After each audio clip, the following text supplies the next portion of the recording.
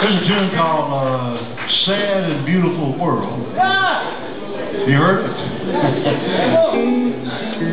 I.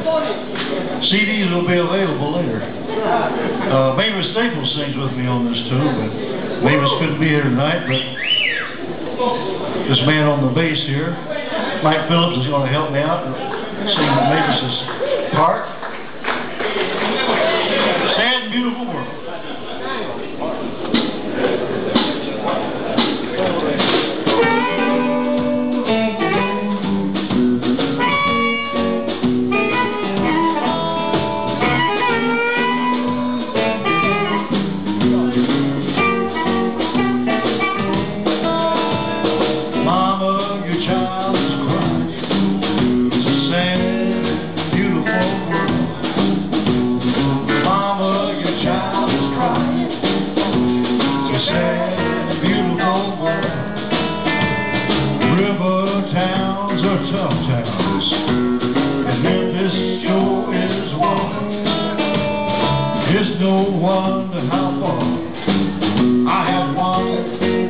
from our